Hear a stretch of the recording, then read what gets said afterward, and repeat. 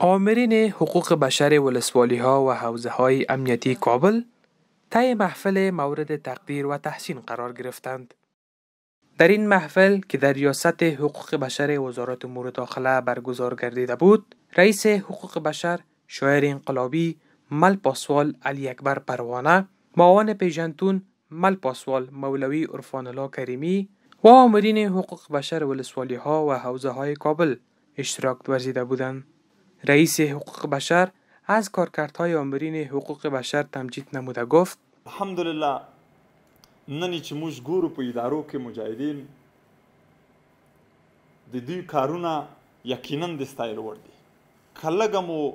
نور هم په ځانونو لږ بوج راوړو، انشاالله د کوم نه ني د کوم مشکلات چي دي د دغه نه به هم ځانونه وباسو وځبو انشاالله. دا لا تشویق د پاره هم درکوو چي تاسو لا هم وهڅیږئ خپلو کارونو ته، لا هم تشویق شئ، لا هم د خلکو مشکلات درک کړئ، لا هم د خلکو سره تاسو کومک کړی وي،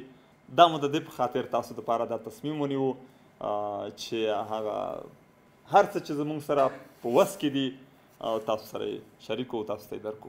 همچنان معاون نظامی ریاست پیژندون از دیدگاه اسلام در مورد حقوق مرد و زن صحبت نموده گفت، د نارینه او د زنانه حقوق دا په اسلام کې خوندي دي دا مفکوره چې زمونږ ذهن ته بل څوک راچي چې په اسلام کې د ښځو حقوق نشته او ټول چې د مرد سالاري ده یا د سړو زوروري ده برتري ده او د ښځو کمزوري ده دا مفکوره دا فکر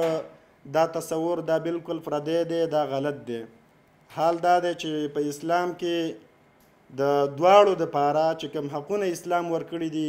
دا د ټولنې کم مذهب کم دین کمی عقیده هیچا نه دي ورکړي. در اخیر از سوی ریاست حقوق بشر به اشتراک کنندگان تحسین نامه ها اهدا گردید.